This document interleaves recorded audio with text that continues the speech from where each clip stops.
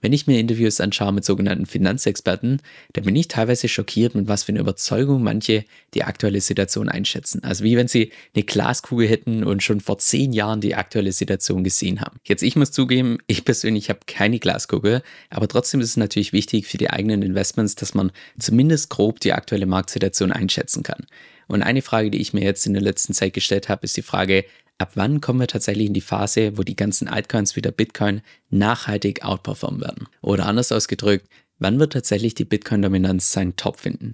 Weil wir haben jetzt zwar in den letzten paar Wochen und Monaten hin und wieder eine Altcoin-Rallye gesehen, wie beispielsweise hier, hier, hier und hier, wenn man ehrlich ist, dann waren das eigentlich nur Korrekturen von der Bitcoin-Dominanz, bevor dann Bitcoin noch höher ging und die Altcoins wieder outperformt hat. Deshalb werden wir heute mal gemeinsam die Vergangenheit analysieren, um einerseits festzustellen, was wir daraus tatsächlich lernen können und natürlich auch andererseits, welches Szenario tatsächlich am wahrscheinlichsten ist. Das heißt nicht, dass wir uns anschauen, was für mein eigenes Portfolio am besten wäre, sondern tatsächlich das, was die Zahlen, Daten, Fakten einfach nahelegen, was am realistischsten ist. Zum Schluss werde ich dir auch noch meine eigene Einschätzung geben und kleiner Spoiler alert an der Stelle, das ist wahrscheinlich nicht das, was die allermeisten Leute hören wollen.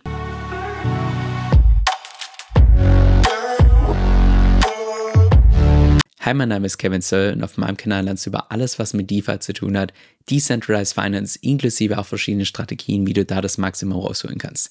Jetzt im heutigen Video kommt meine sehr nüchterne, datenbasierte Analyse, gerade was die Vergangenheit von Bitcoin angeht, im Verhältnis zu den ganzen Altcoins. Lass uns auch mal beginnen bei der Bitcoin-Dominanz die im Wesentlichen widerspiegelt, wie viel Bitcoin von der gesamten Marktkapitalisierung ausmacht. Und da siehst du beispielsweise, dass im letzten Zyklus, also 2021, die Bitcoin-Dominanz hier seinen Peak gefunden hat bei über 70 Prozent und noch vor seinem Halving-Event.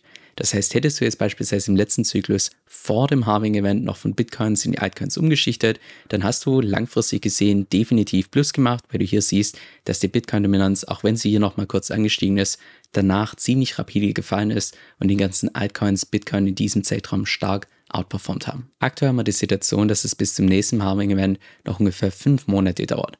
Das heißt, sollte sich tatsächlich die Vergangenheit wiederholen im letzten Zyklus, dann wäre das eigentlich eher ein Indiz dafür, dass Stand heute schon ein guter Zeitpunkt ist, seine Bitcoins schrittweise in Altcoins umzuschichten, weil ja hier die Bitcoin-Dominanz schon vor dem Halving seinen Peak gefunden hat. Wenn man sich allerdings noch andere Indikatoren anschaut, dann sieht das ganze Bild schon ein bisschen ernüchternd aus. Hier siehst du beispielsweise einen Chart mit der Bitcoin-Dominanz und noch zusätzlich dem Leitzins der Fed.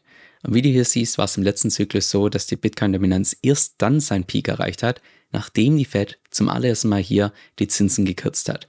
Und davor war es der Fall, dass Bitcoin die ganzen Altcoins outperformt hat und danach haben grundsätzlich die ganzen Altcoins Bitcoin outperformt. Jetzt aktuell haben wir die Situation, dass die Fed die Zinsen noch gar nicht gekürzt hat. Das heißt, das wäre eher ein Indiz dafür, dass die Bitcoin-Dominanz weiter ansteigt, bis zu dem Zeitpunkt, wo die Fed tatsächlich irgendwann mal die Zinsen senkt rein rational betrachtet, würde ich auch eigentlich sagen, dass es Sinn ergibt, weil solange die Fed noch Quantitative Tightening betreibt, das heißt die Geldmenge reduziert, ja, da haben sie im Allgemeinen die Risk-On-Assets und insbesondere Altcoins im Vergleich zu Bitcoin unglaublich schwer.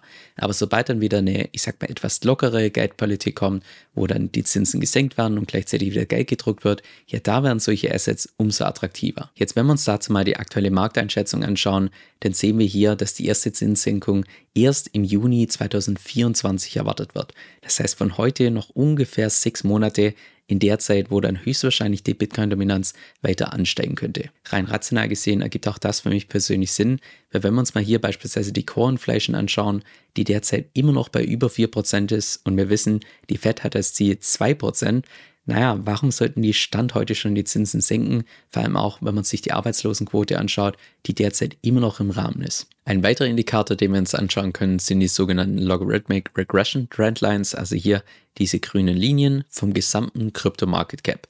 Wenn du dir mal hier die Vergangenheit ein bisschen genau anschaust, dann war es bisher in jedem einzelnen Zyklus so, dass wir hier die obere Linie erreicht haben, genauso auch wie hier die untere Linie.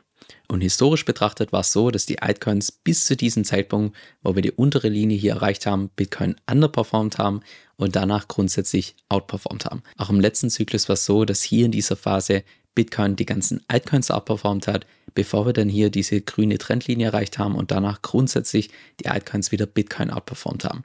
Jetzt in diesem Zyklus haben wir den Fall, dass wir die untere Trendlinie noch gar nicht berührt haben. Das heißt, Laut diesem Modell, also sofern sich natürlich hier die Vergangenheit wiederholt, würde das eigentlich mehr dafür sprechen, dass jetzt noch weiter Bitcoin die ganzen Altcoins outperformt, bevor dann wieder das Umgekehrte stattfindet. By the way, ins heutige Video ist einiges an Arbeit reingeflossen. Falls du meine Arbeit unterstützen möchtest, würde ich mich definitiv über ein Like freuen rein. Das heißt, wenn wir uns jetzt mal die Indikatoren anschauen, die tatsächlich dafür sprechen, dass wir eine nachhaltige Rallye bei Altcoins sehen, dann sind von allen Indikatoren, die wir gerade identifiziert haben, ist nur einer davon bisher eingetreten. Und zwar, dass wir uns derzeit noch vor dem Halving-Event befinden. Allerdings die Zinssenkung der Fed, die hat noch nicht stattgefunden und wir haben auch nach wie vor nicht diese Lower Regression Trendline erreicht. Und das würde dann bedeuten, rein faktisch gesehen aufgrund von Wahrscheinlichkeiten, dass wir aktuell noch eher in einer Phase sind, wo Bitcoins weiterhin die Altcoins outperformt. Mir ist bewusst, dass das wahrscheinlich nicht das ist, was du hören möchtest, sofern du heute schon stark in Altcoins investiert bist oder noch stark in Altcoins investiert bist. Deshalb möchte ich nochmal betonen, das ist nicht das Szenario, was ich mir persönlich wünsche, sondern das, was aufgrund von historischen Daten tatsächlich am wahrscheinlichsten ist. Deshalb lass uns jetzt mal gemeinsam anschauen, was tatsächlich passieren müsste, damit diese These falsch ist. Damit es nicht zu diesem Szenario kommt, müsste im Wesentlichen ein Event passieren, was dazu führt, dass die Fed die Zinsen viel früher senkt. Wie beispielsweise, dass sich die Arbeitslosenquote stark erhöht oder auch beispielsweise, dass irgendwelche weiteren Banken kollabieren, gerade eine größere Bank, oder auch beispielsweise irgendwelche Black Swan Events wie ein plötzlicher dritter Weltkrieg oder irgendwie sowas, was dazu führt, dass dann die Fed übergeht von Quantitative Tightening zu Quantitative Easing, also dass sie wieder Geld drucken. Weil das hätte dann zur Folge, dass die ganzen Risk-On-Assets und insbesondere Altcoins dann höchstwahrscheinlich wieder Bitcoin outperformen. Sollte es allerdings zu keinem von diesen Events kommen und die Fed macht weiter so wie bisher, dann spricht rein faktisch gesehen eher mehr dafür, dass die Bitcoin-Dominanz weiter ansteigt und die Altcoins im Vergleich zu Bitcoin underperformen. Jetzt die guten Nachrichten sind, sofern du beispielsweise mein Newsletter liest, dann weißt du, dass ziemlich viel dafür spricht, dass wir demnächst eine Rezession sehen, die auch höchstwahrscheinlich mit einem rezessiven Crash einhergeht. Historisch betrachtet war es allerdings relativ oft so, dass wir tatsächlich eine Rallye gesehen haben in die Rezession. Und das erkennst du auch beispielsweise im Aktienmarkt, wo wir noch ein bisschen mehr Daten haben, die wir ranziehen können. Hier siehst du beispielsweise das Chart vom S&P 500 und noch zusätzlich der Fed Fund Rate, also dem Leitzins.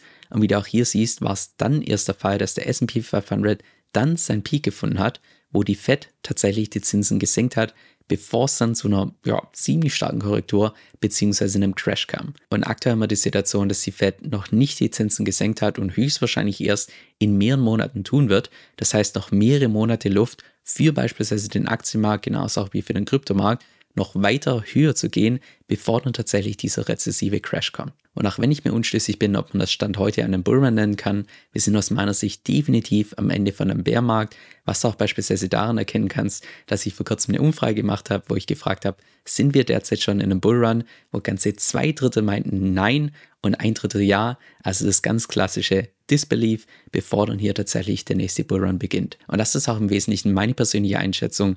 Ich persönlich gehe davon aus, dass wir am Ende von einem Bärmarkt sind, wo es historisch betrachtet nach wie vor so ist, dass Bitcoin den Großteil der Altcoins outperformt, bevor dann irgendwann mal der eigentliche Bullrun beginnt und die ganzen Altcoins wieder Bitcoin outperformen. Jetzt solltest du Stand heute noch underexposed sein, was deine Kryptoposition angeht, dann würde ich persönlich auf keinen Fall jetzt irgendwie wegen FOMO den Preis hinterher rennen, sondern ich würde Stand heute mit einem Plan machen, wo du noch einigermaßen klar denken kannst, rational denken kannst, bevor dann irgendwann mal einfach die Gier das Hirn frisst und diesen Plan einfach komplett emotionslos durchziehen. Und sollte sich tatsächlich die Vergangenheit wiederholen, dann ist die Wahrscheinlichkeit sehr hoch, dass wir tatsächlich noch in diesem Zyklus einen rezessiven Crash sehen, was höchstwahrscheinlich auch die mit Abstand größte Investitionsmöglichkeit wird, die wir in den nächsten paar Jahren sehen werden.